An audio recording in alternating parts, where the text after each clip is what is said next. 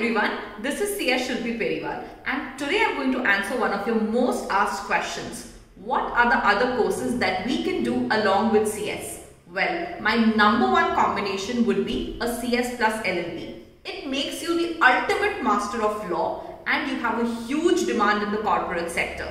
CS plus LLB is the go-to combination, right? Now the second combination would be to do CS along with some NSE courses that is your stock market related courses.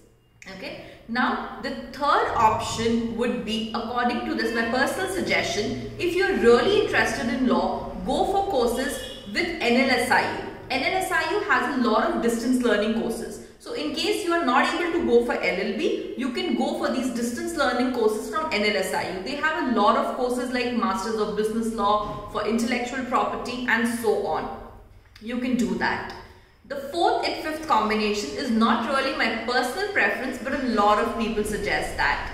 The fourth combination and the classic combination is your CS with CA. Yes, CA and CS has been a combination done by students from times immemorial, right?